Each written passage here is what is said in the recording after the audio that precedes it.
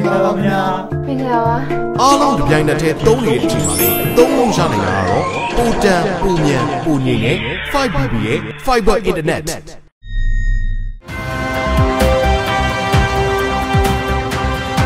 ဂလာပါရှင်။ Sunday TV ရဲ့နောက်ဆုံးရနိုင်ငံတကာသတင်းတွေကိုစပြီးတော့တင်ဆက်ပေးသွားမှာပါ။ကျွန်မကဂျာမုံပါ။ ပထမဆုံးသတင်းကတော့ဟောင်ကောင်လုံခြုံရေးဥပဒေအသစ်ကိုအတည်ပြုပြဋ္ဌာန်းဖို့တရုတ်အမျိုးသားညီလာခံဆုံးဖြတ်တဲ့သတင်းပါ။အငင်းပွားမှုတွေရှိနေတဲ့ဟောင်ကောင်လုံခြုံရေးဥပဒေအသစ်မူကြမ်းကိုတရုတ်အစိုးရကအတည်ပြုပြဋ္ဌာန်းတော့မယ်လို့သိရပါတယ်။တရုတ်ကဥပဒေအသစ်အတည်ပြုလိုက်ပြီးဆိုတာကိုတရားဝင်မကြေညာသေးပေမဲ့ဘေကျင်းမြို့မှာတရုတ်အမျိုးသားပြည်သူ့ညီလာခံရဲ့ကော်မတီဝင်တွေကတညီတညွတ်တဲ့မဲပေးထောက်ခံခဲ့ကြပြီးဖြစ်တယ်လို့နှိဆက်သူတွေကပြောကြားခဲ့ပါတယ်။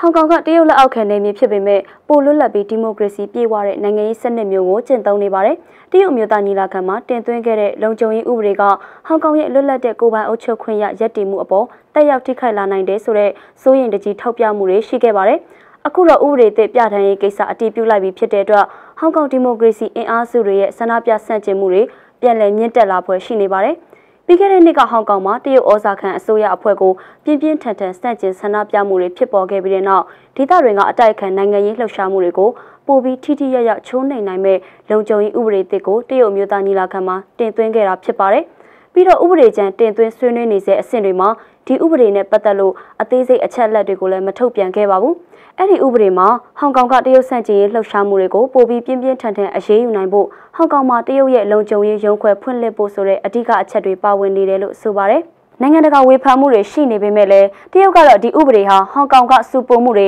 ထိတတွေမတည်ငြိမ်မှုတွေကိုချိုးနှိမ်ရမှာအထအကူဖြစ်စေလိမ့်မယ်လို့ကာကွယ်ပြောကြားထားတာပဲဖြစ်ပါတယ်။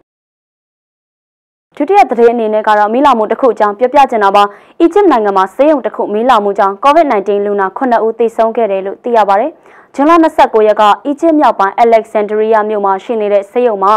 မတော်တဆမီးလောင်မှုဖြစ်ခဲ့တာပါပြည်သူ့လုံခြုံရေးဌာနတာဝန်ရှိသူတွေကတော့မီးလောင်မှုဟာဆေးရုံရဲ့အထူးကြက်မှတ်ဆောင်ကိုတွေ့တန်းထားတဲ့ဝါယာကြိုးတွေရှော့ဖြစ်ရာကစတင်ခဲ့တယ်လို့ပြောပါတယ်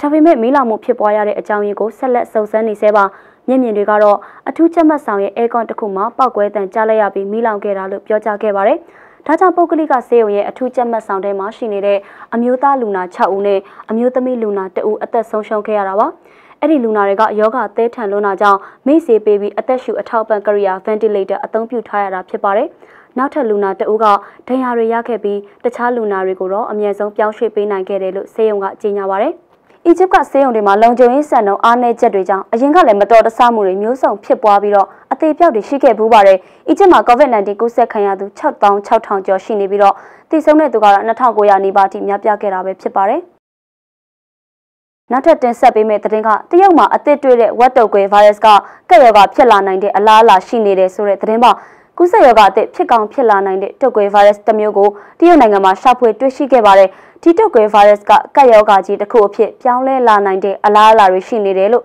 ပညာရှင်တွေကပြောပါတယ်။လက်တလောတွေ့ရှိထားတဲ့တုတ်ကွဲဗိုင်းရပ်စ်ရဲ့မျိုးဗီဇနဲ့ကွဲပြားနေတဲ့ဗိုင်းရပ်စ်အသစ်ကလလောဆယ်တော့ဝက်တွေမှာပဲကူးစက်နေပြီးတော့ဝက်တုတ်ကွဲတစ်မျိုးလို့သတ်မှတ်ထားပါတယ်။ လူသားတွေကိုကူးစက်တဲ့အထောက်အထားလည်းမတွေ့သေးပါဘူး။ဒါပေမဲ့တုတ်ကွေးဗိုင်းရပ်စ်တွေရဲ့သဘာဝအတိုင်းမျိုးဗီဇဆင့်ကဲပြောင်းလဲရင်ကွဲပြားတဲ့တက်ရှိမျိုးစိတ်တွေစီကူးစက်လာနိုင်ခြေရှိနေပါတယ်။တကယ်လို့သာမျိုးဗီဇပြောင်းလဲမှုတွေကြောင့်ဝက်ကနေတဆင်လူကိုကူးစက်လာမယ်ဆိုရင်နောက်ထပ်ကပ်ရောဂါတစ်ခုအဖြစ်ကျဲပြန့်လာမှာကိုတရုတ်သူတေသီတွေကတွေးတောစိတ်ပူနေကြတာပါ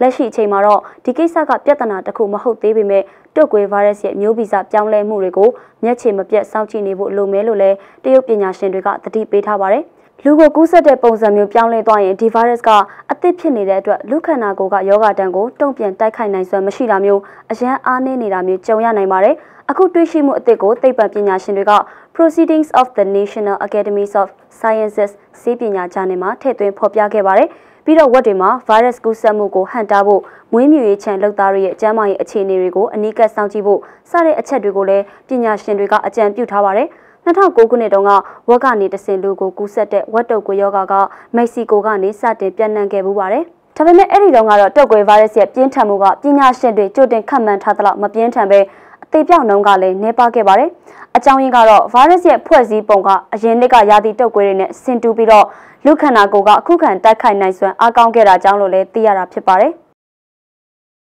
ဆက်ပြီးတော့ဘင်္ဂလားဒေ့ရှ်မှာကဒုရေရင်နစ်မြုပ်မှုကြောင့်လူ32ဦးထပ်မံသေဆုံးတဲ့တဲ့ကိုတင်ဆက်ပေးပါမယ်။ဘင်္ဂလားဒေ့ရှ်နိုင်ငံမှာကတို့ရေရင်နစ်မြုပ်မှုကြောင့်လူပေါင်း32ဦးထပ်မံတေဆုံးခဲ့တယ်လို့သိရပါတယ်။ဇွန်လ29ရက်မနက်ပိုင်းကဒါကာမြို့တော်မှာရှိနေတဲ့မြစ်ထဲမှာကတို့ရေရင်နှစ်စီးတိုက်မိကြပြီးတော့ Morning Bird လို့နာမည်ပေးထားတဲ့ရေရင်ကနစ်မြုပ်သွားခဲ့တာဖြစ်ပါတယ်။အဲ့ဒီရေရင်ပေါ်မှာခရီးသည်60လောက်စီးနှင်းလိုက်ပါလာတယ်လို့ရဲတပ်ဖွဲ့ကပြောပါတယ်။ ဖြစ်စဉ်ကအရန်မြန်ဆန်ခဲ့သလိုရေရင်ချင်းတိုက်မိပြီးစက္ကန့်20လောက်အတွင်းမှာတင် morning bus နစ်မြုပ်သွားတာလို့မျက်မြင်တွေကဆိုပါတယ်။ morning bus နဲ့ဝင်တိုက်မိတာကတော့မြစ်ကြောင်တစ်လျှောက်ပြေးဆွဲတဲ့အကြီးဆုံးကဒုရေရင်တစ်စီးဖြစ်ပါတယ်။အနီးနားမှာရှိနေတဲ့ကဒုလှေတွေနဲ့တငါလှေတွေကနစ်မြုပ်သွားတဲ့ရေရင်ကနေအသက်ရှင်လွတ်မြောက်လာသူတွေကိုကယ်ဆယ်ခဲ့သလိုရဲတွေကိုကူညီပြီးတော့ရုပ်အလောင်းတွေကိုလည်းလိုက်လံဆယ်ယူပေးနေတာတွေ့ရပါတယ်။ရဲတွေရဲ့အဆိုအရတိတ်ဆုံးသူတွေထဲမှာအမျိုးသမီးတွေနဲ့ကလေးတွေတရားစင်ဝန်းကျင်လောက်ပါရှိနေတယ်လို့လည်းသိရပါတယ်။ ရေရင်ကအမြင့်ကျန်းပြင်အောက်ပေ80လောက်မှာနစ်မြုပ်နေပြီးတော့ကုတ်ထဲထဲမှာအလောင်းတွေရှိနေနိုင်သေးတယ်လို့ရေတက်ရဲ့ရေငုပ်သမားတွေကပြောပါတယ်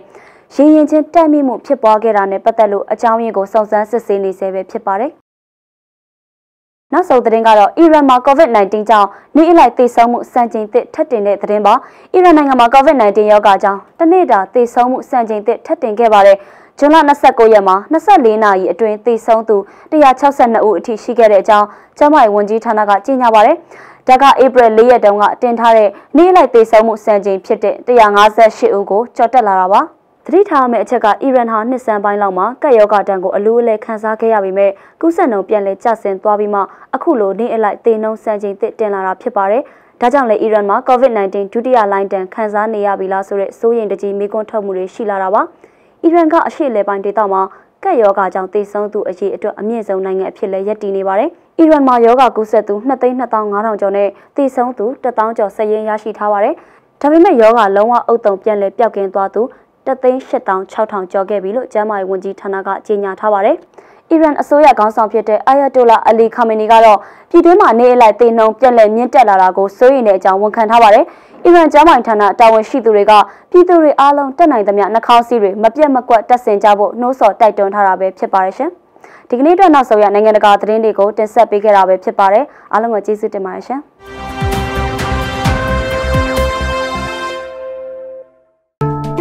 မင်္ဂလာပါဗျာမင်္ဂလာပါအားလုံးဒီပြိုင်နက်တည်းသုံးနေတဲ့အချိန်မှာလေသုံးလုံးရနိုင်တာကတော့ပူတန်ပူမြန်ပူငိမ့်နဲ့ 5BB ရဲ့ Fiber Internet